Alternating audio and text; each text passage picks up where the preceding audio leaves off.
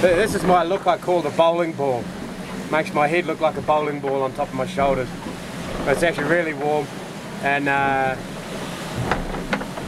and I don't like wearing the, the hoods unless I have to so this is a nice compromise keeps your head warm you don't get too wet um, yeah you can see you can hear and it's pretty easy to take off